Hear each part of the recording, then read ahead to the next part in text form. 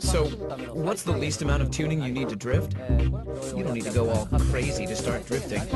First of all, you have to start with the suspension. Then you should also change the brake pads and brake fluid, but that's about it. What I want you all to understand is that you don't need loads of money to enjoy the sport of drifting.